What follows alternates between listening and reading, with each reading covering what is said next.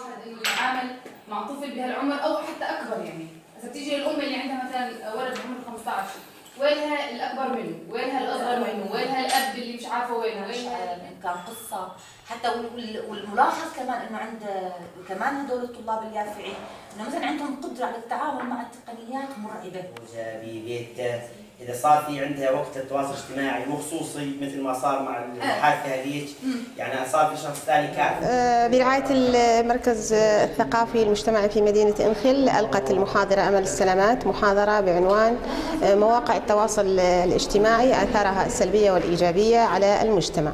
آه، وقد تطرقت المحاضرة إلى عدة موضوعات هامة. آه، منها آه، أسباب آه، يعني الأسباب التي تؤدي إلى آه، آه، فشل هذه المواقع آه، أو فشل استعمال هذه المواقع آه، في منطقتنا وكيفية الوقاية من أخطارها وكيفية التعامل معها.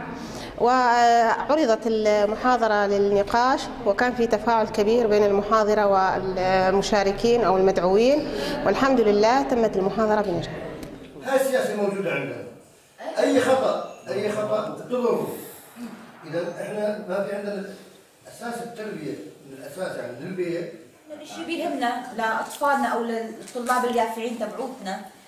لاحظ مجموعة آه، سلبيات على اليافعين.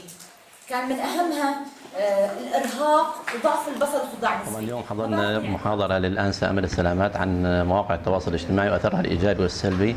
طبعا كان في مشاركة من الحضور والفائدة كانت كبيرة.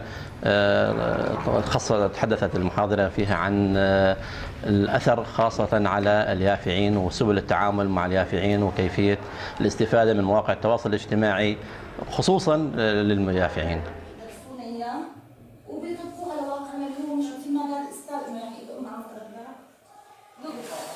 両手で最大に